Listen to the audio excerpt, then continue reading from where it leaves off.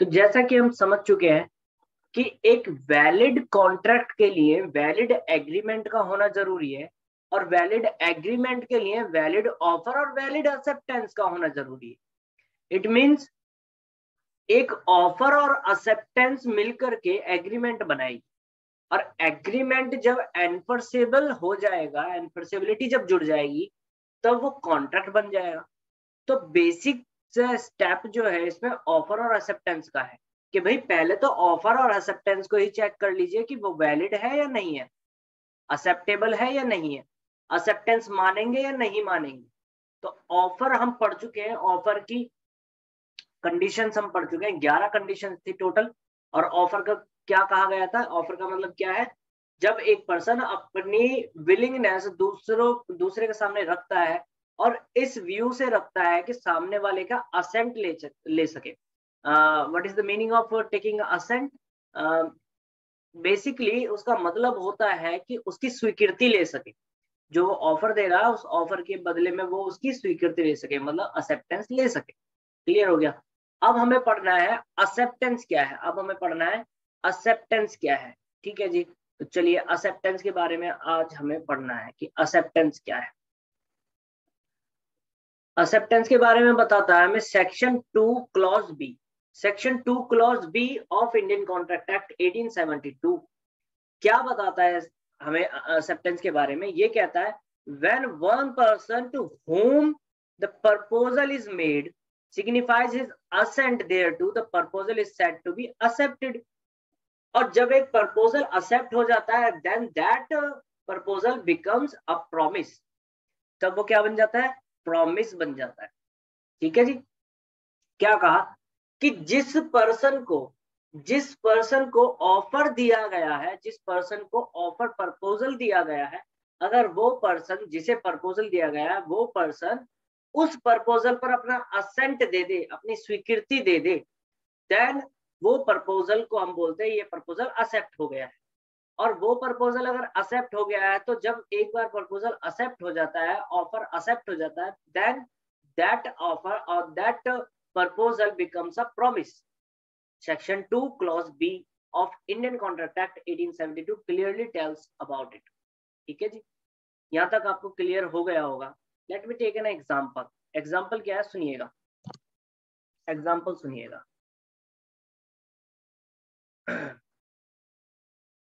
एक mister A है। इसने मिस्टर बी को एक ऑफ़र दिया। तो इस कंडीशन में, इस कंडीशन में सुनिएगा, अब बी जो है, बी ने एक्सेप्टेंस दे दी। बी ने एक्सेप्टेंस दे दी ऑफ़र के लिए कि हाँ भाई, मेरी तरफ़ से ये ऑफ़र एक्सेप्टेड है। मैं ऐसा करूँगा। वो स्वीकृति दे चुका है। तो इस पर्सन को, इस पर्सन को हम बोलेंगे ऑफरर और इस पर्सन को हम बोलेंगे एक्सेप्टर या फिर हम इसको दूसरे नाम से भी जानते हैं, जिसे हम बोलते हैं क्या? जिसे हम बोलते हैं जी प्रोमिसर और इसको भी हम दूसरे नाम से जानते हैं, जिसे बोलते हैं प्रोमिसी क्लियर हुआ? जी सर क्लियर हो गया। तो ए ने अगर बी को ऑफ़र दिया तो ए ऑफरर होगा या प्रोमिसर होगा और बी एक्सेप्टर या फिर प्रोमिसी कहलाए। क्लियर हो गया? तो जब बी भाई साहब जो है बी अपनी एक्सेप्टेंस देता है तो ये जो प्रपोजल है, ये जो ऑफ़र दिया गया है अगर इसमें एक्सेप्टेंस जुड़ जाए तो then that offer becomes a promise इसको हम क्या बोलेंगे? ये प्रॉमिस बन गया है। ठीक है जी? समझ में आ गया? जी सर समझ में आ गया। अब आगे की बात करते हैं। हाँ। a contract comes into existence only after a valid acceptance of a valid offer. मैंने क्या बोला था? कि कॉन्ट्रैक्ट होने के लिए वैलिड एग्रीमेंट का ज़रूरी है वैलिड एग्रीमेंट के लिए वैलिड ऑफ़र और वैलिड एक्सेप्टेंस का होना ज़रूरी है। तो एक्सेप्टेंस वैलिड मानी जाएगी या नहीं मानी जाएगी, ये डिपेंड करता है कुछ चीज़ों पर, कुछ कंडीशंस पर, ठीक है? जैसे कि एक्सेप्टेंस जो है बाई फ्री कंसेंट होनी चाहिए। एक्सेप्टेंस प्रॉपर वे में होनी चाहिए। ये सारी चीज़ें हैं। तो अब कुछ लीगल रूल्स है रिगार्डिंग वैलिड एक्सेप्टेंस मतलब कुछ एक लीगल रूल्स है जो कि हमें समझने होंगे एक वैलिड एक्सेप्टेंस होने के लिए। अगर किसी एक्सेप्टेंस को हमें देखना है कि वो वैलिड है या नहीं है तो हमें ये सारी की सारी कंडीशंस पढ़नी पड़ेंगी। चलिए जी, पढ़ते हैं। Condition number one point number one देखिए जी। पॉइंट नंबर वन क्या कहता है पॉइंट नंबर वन कहता acceptance must be, acceptance must be given by a person to whom it is made क्या क्या सीधा सीधा सा कहा गया कि एक्सेप्टेंस वही दे सकता है जिस व्यक्ति को या जिस पर्सन को ऑफ़र दिया गया है। एक पर्सन जिसको ऑफ़र दिया गया है, वही पर्सन क्या कर सकता है? उस पर अपना असेंट भी दे सकता है मतलब अपनी स्वीकृति, अपनी एक्सेप्टेंस दे सकता है। चलिए, इसको समझते हैं और आगे क्या कहता है? An offer can be accepted only by the person or persons to whom it is made and with whom it imports an intention to contract. जिससे आप कॉन्ट्रैक्ट करना चाहते हैं, जिसको आपने ऑफ़र दिया है, वही person that particular person can accept the offer सीधी सी बात। वही पर्सन क्या करेगा? ऑफ़र को एक्सेप्ट करेगा। It can not be accepted by another person without the consent of the offer क्या कहा गया? मैंने काशी जी को या मैंने शिवम जी को एक ऑफ़र दिया और शिवम जी के बिना परमिशन के या उस कंसेंट में हमें नहीं पता था मुझे नहीं पता था कि काशी जी से कोई उनका रिलेशन है या नहीं है। काशी जी को उन्होंने बोला है या नहीं बोला? काशी जी मुझे वो ऑफ़र एक्सेप्ट करते हैं तो वो वैलिड एक्सेप्टेंस नहीं मानी जाएगी बिकॉज़ मैंने जो ऑफ़र दिया वो शिवम को दिया है। तो शिवम ही कर सकते हैं। समझ आ गया? क्लियर हो गया? कहता हाँ, सीधी सीधी सी बात है if you make to if you propose to make a contract with P and Q P और क्यू के साथ आप कॉन्ट्रैक्ट करना चाहते हैं Q substitute himself for P without your consent आपकी जानकारी में नहीं था और क्यू ने क्या किया? क्यू कहता, भाई, मेरे से कॉन्ट्रैक्ट कर लीजिए। पी ने मुझे बोल दिया। तो अब ये क्या कह रहा है कि भैया, ये वैलिडिटी नहीं है। ये सिर्फ़ अकेला अपना पर्सन की अपनी स्वीकृति दे सकता है, साथ वाले की थोड़ी दे सकता है। क्लियर आगे। Point number two point number two क्या कहता है? एक्सेप्टेंस में भी एक्सप्रेस और इम्प्लाइड दोबारा से ऑफ़र भी एक्सप्रेस और इम्प्लाइड हो सकता है। हाँ जी, हो सकता है। वैसे ही एक्सेप्टेंस भी एक्सप्रेस और इम्प्लाइड हो सकती है। एक्सप्रेस कहने का मतलब by क्लियरली स्पीकिंग वर्ड्स और इन राइटिंग हम क्या कर सकते हैं? या तो हम बोलकर अप, अप, अपनी एक्सेप्टेंस दे सकते हैं या फिर हम लिखकर अपनी एक्सेप्टेंस दे सकते हैं। तो ये तो हुआ एक्सप्रेस ये क्या हुआ? एक्सप्रेस तो एक्सप्रेस एक्सेप्टेंस क्या होती है? एक्सेप्टेंस आप बाय वर्ड्स स्पोकन या फिर रिटर्न में अगर आप दे रहे हैं एक्सेप्टेंस तो वो एक्सप्रेस एक्सेप्टेंस कहलाएगी।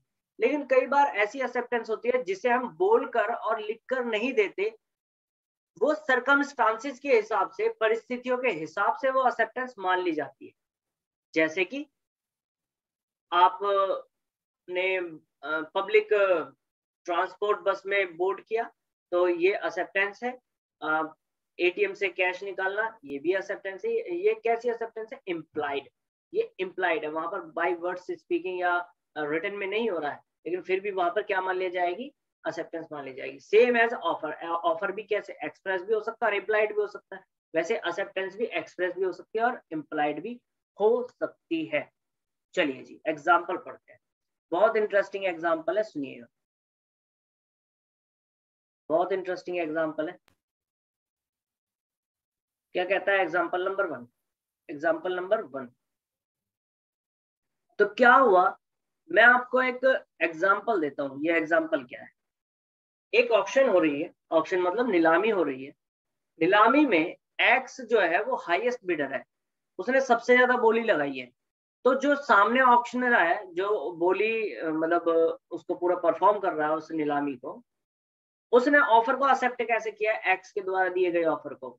उसने कुछ बोला नहीं, कुछ लिखा नहीं, कुछ राइटिंग में नहीं दिया, बस उसने हैमर को स्ट्राइक किया। तो जो ये एक्सेप्टेंस दी गई है by the striking of hammer दी गई है तो ये क्या है? ये है इम्प्लाइड एक्सेप्टेंस ये क्या है? इम्प्लाइड एक्सेप्टेंस फॉर एग्ज़ाम्पल मैं आपको बता देता हूँ।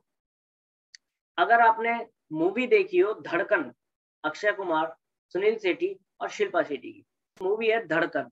धड़कन में क्या होता है कि अक्षय कुमार और शिल्पा शेट्टी का जो घर है, वो नीलामी होने के कगार पे आ जाता है और नीलाम होने लगता है। तो उसमें लोग बोली लगाते हैं, कोई पचास लाख, कोई कोई कोई कोई।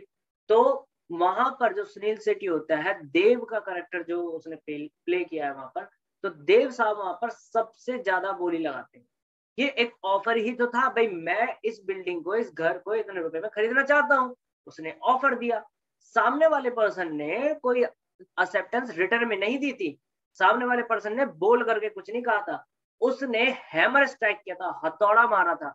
और वो क्या होता है कि नीलामी का एक तरीका होता है। बिड लगाने का बिड को फाइनल करने का एक तरीका होता है कि इससे ऊपर अब कोई भी नहीं है, ठीक है जी? तो ये जो है by the striking of hammer ये भी एक इम्प्लाइड एक्सेप्टेंस है, ठीक है जी? तो इसको इम्प्लाइड एक्सेप्टेंस के एग्ज़ाम्पल में आप समझ सकते हैं। याद रखिएगा, धड़कन मूवी का एग्ज़ाम्पल क्लियर और अभी तो आईपीएल भी आईपीएल में भी ऑप्शन हुई थी, खिलाड़ी बिके थे तो वो भी आप एग्ज़ाम्पल याद रख सकते हैं। Example number two example number two में क्या कहता है? ए ने ऑफ़र किया बी को कि वो अपनी कार बेचेगा चालीस हज़ार रुपए में।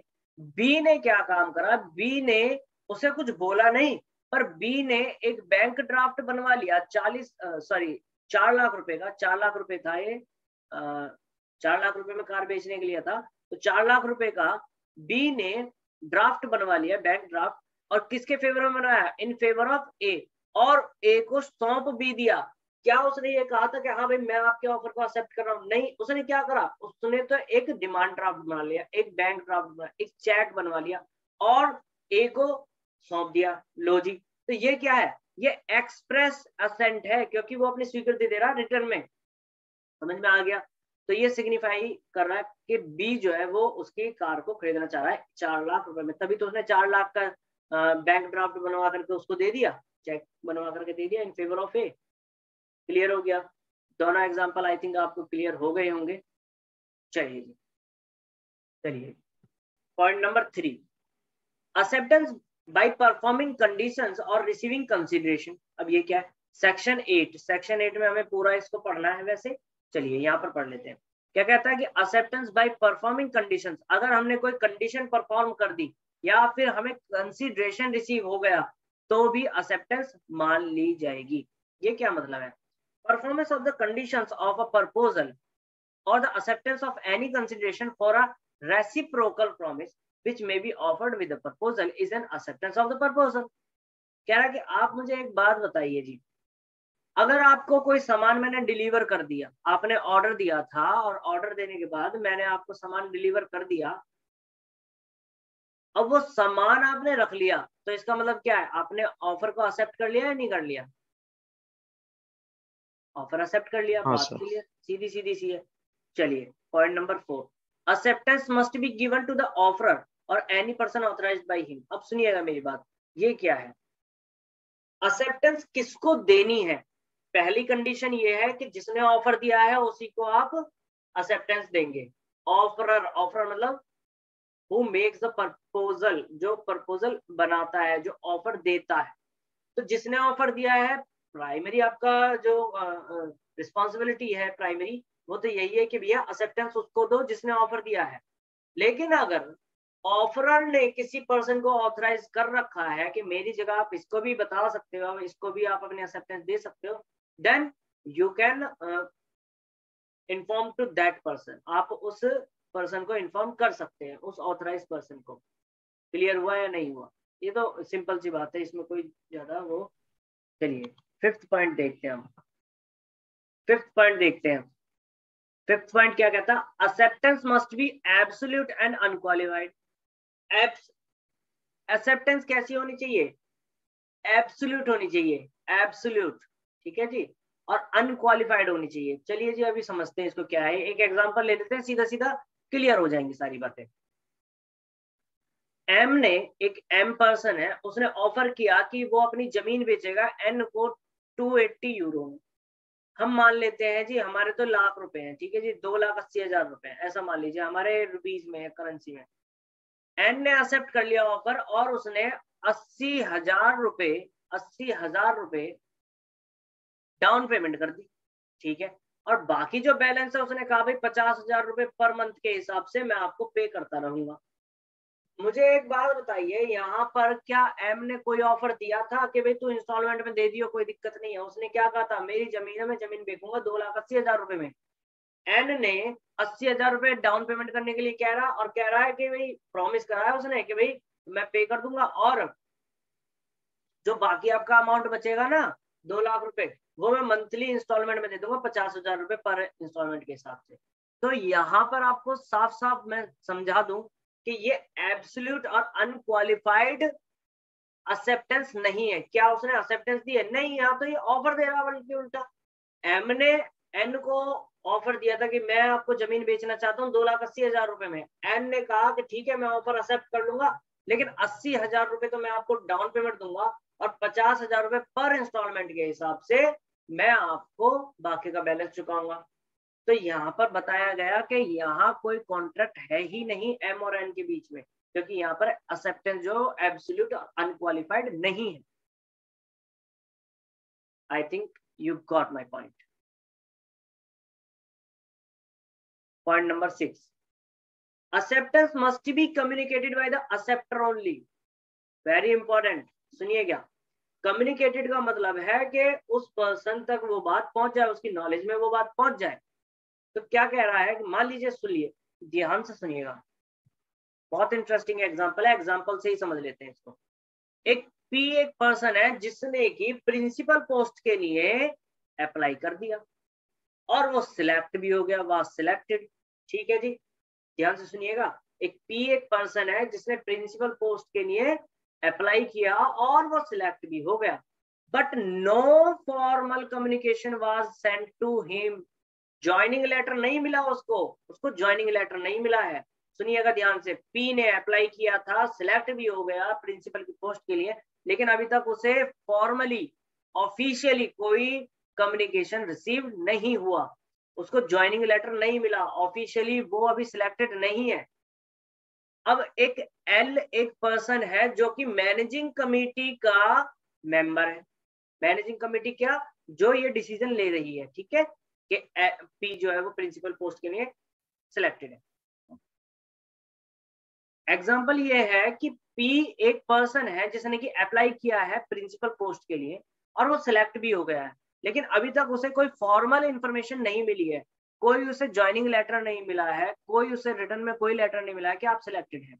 लेकिन एक एल एक पर्सन है जो मैनेजिंग कमेटी का मेंबर है। मैनेजिंग कमेटी का मेंबर है, यानी कि जिसने ये डिसीज़न लिया था। उसने ये बात बता दी किसको? पी को, कि भाई तेरा सिलेक्शन हो गया है। लेकिन बाद में पता चला कि मीटिंग के दौरान उसकी अपॉइंटमेंट कैंसिल कर दी गई है। ध्यान से सुनिएगा। अब इस पर्सन ने, जो पी भाई साहब हैं, जो प्रिंसिपल पोस्ट के लिए आए थे, इन्होंने केस फ़ाइल कर दिया मैनेजिंग कमेटी के खिलाफ। इसने मैनेजिंग कमेटी के खिलाफ केस फ़ाइल कर दिया कि आपने मेरे साथ धोखा करा, पहले सिलेक्ट कर लिया, फिर आपने मेरे को कैंसिल कर दिया। मैं आपको बता दूँ यहाँ पर कोर्ट का डिसीज़न ये है कि भैया आपके और उसके बीच में कोई कॉन्ट्रैक्ट था क्या? नहीं था। क्योंकि यहाँ कम्युनिकेशन था ही नहीं। क्या आपको उन्होंने बताया था आप सिलेक्टेड हो? क्या आपको उन्होंने रिटर्न में दिया था कि आप सिलेक्टेड हो? कोई कम्युनिकेशन आपके पास आई थी, आप सिलेक्टेड हो? नहीं। किसी एक पर्सन के कहने पर आपने कैसे मान लिया? एल मैनेजिंग कमेटी का मेंबर है। पूरी मैनेजिंग कमेटी एल थोड़ी है। बात समझे या नहीं समझे?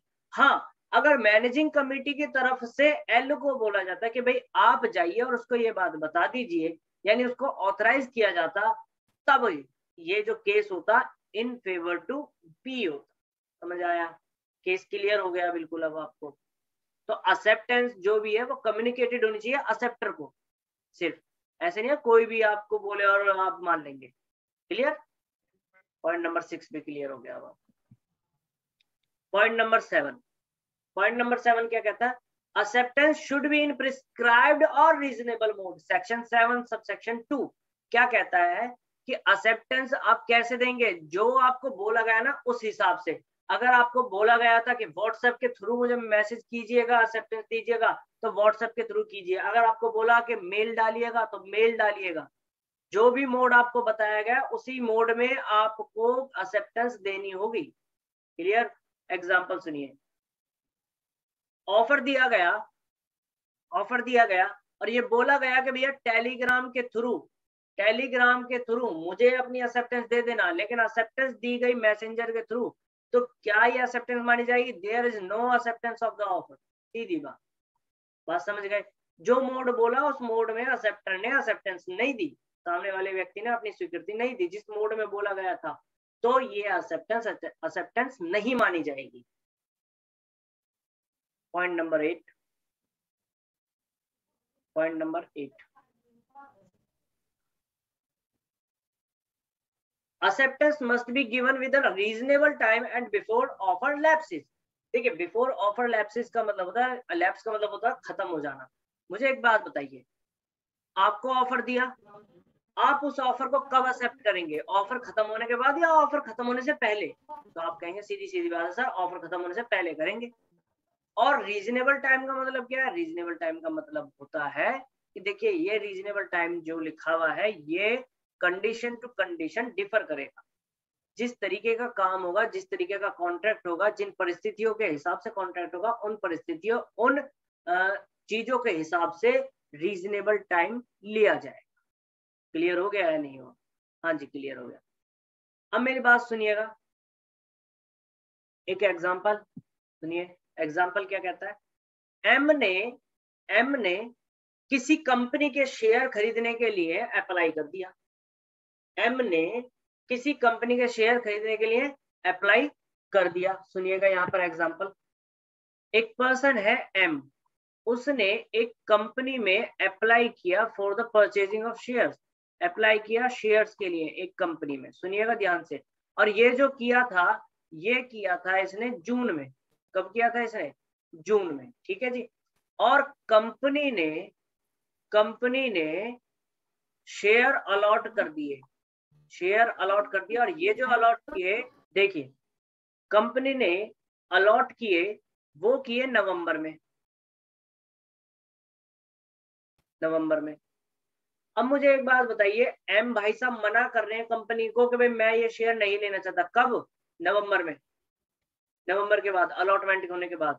तो यहाँ पर डिसीज़न ये है, यहाँ पर ये पाया गया कि भैया ये मना नहीं कर सकता। ये एक्सेप्टेंस जो ये है भाई साहब, ये जो है, ये कब दे सकते थे? ये दे सकते थे नवंबर से पहले पहले। जून और नवंबर के बीच में कर सकते थे ये। एक बार शेयर आपको मिल गए तो फिर थोड़ी मिलेंगे। अलॉटमेंट हो गई तो फिर थोड़ी आप मना कर सकते हैं। क्लियर चलिए देखिए। एम एक पर्सन है जिसने एक कंपनी में शेयर अप्लाई कर दिए जून में। अलॉटमेंट की गई नवंबर में। पर वो मना कर रहा है कि मैं शेयर नहीं लूँगा। तो सीधी सीधी बात है, वो मना नहीं कर सकता। क्यों नहीं कर सकता? क्योंकि एक एक्सेप्टेंस देखिए सीधी सी बात है ना, कि कंपनी ने अलॉट कर दिया नवंबर में। तो नवंबर से पहले पहले वो मना कर सकता था कि भाई मैं नहीं लूँगा। क्लियर तो यहाँ पर क्या पाया गया कि जब खत्म हो गया है ना तब वो कह रहा है कि अब अब वापस करो भैया, अब मैं नहीं लेना चाहता। ठीक है? Point number nine point number nine point number nine क्या कहता है? It can not precede an offer it can not precede an offer अब प्रिसीड एन ऑफ़र का मतलब क्या? Acceptance must be given after receiving the offer offer देने से पहले ही आप एक्सेप्टेंस दे देंगे क्या? आप कहेंगे, सर ऑफ़र मिलेगा तो एक्सेप्टेंस देंगे ना? ऑफ़र से पहले एक्सेप्टेंस कैसे दे देंगे? सीधी सी बात है। ठीक है जी? तो अगर कोई अप्लाई कर रहा है तो वो पहले से ही नहीं कर देगा। उसको पता है क्या अलॉटमेंट कब होने वाली है, कैसे होने वाली है। तो वो पहले थोड़ी कर सकता है। जब तक कंपनी इश्यू ही ना करे, तब तक वो ऑफ़र कैसे कर सकता है? क्लियर हो गया?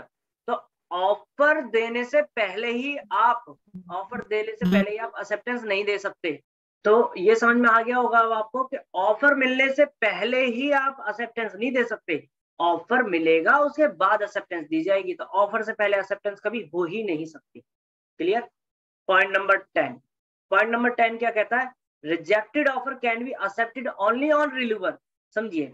एक बार आपको ऑफ़र मिला। ऑफ़र आपने रिजेक्ट कर दिया। अब आप दोबारा से उसको एक्सेप्ट करना चाहते हैं तो कब कर सकते हैं? जब वो ऑफ़र दोबारा से आपको दिया जाए। एक बार ऑफ़र रिजेक्ट कर दिया जाए तो आप एक्सेप्टेंस नहीं दे सकते, कब तक नहीं दे सकते, जब तक कि ऑफ़र दोबारा ना दिया जाए रिन्यूअल ना किया जाए। क्लियर सुनिएगा ध्यान से एग्ज़ाम्पल एक एक्स ने ऑफ़र दिया अपनी कार बेचने के लिए वाई को पचास हज़ार रुपए में। वाई ने रिजेक्ट कर दिया ऑफ़र वाई ने रिजेक्ट कर दिया ऑफ़र और उसने कहा, भाई, मैं तो चालीस हज़ार रुपए में ही ले सकता हूँ। ठीक है? अब ये ऑफ़र हो गया रिजेक्ट चलिए अब बाद में वाई ने कहा कि चलो भाई, मिले मिले, ना भी मिले, पचास हज़ार में ही खरीद लेते हैं। पहले उसने रिजेक्ट कर दिया, अब क्या कह रहा है चलो भाई, पचास हज़ार में मैं खरीदने के लिए तैयार हूँ। लेकिन ऑफ़र क्या हो गया था? रिजेक्ट हो गया था। तो ये कब हो सकता है अब दोबारा? एक्सेप्ट जब वो दोबारा से ऑफ़र दे एक्स को वो अप्रोच करेगा कि भैया मुझे दोबारा से ऑफ़र दे दे एक्स ऑफ़र देगा उसको, फिर वो एक्सेप्ट कर सकता है अदरवाइज़ एक्सेप्ट नहीं कर सकता। क्लियर हुआ या नहीं हुआ?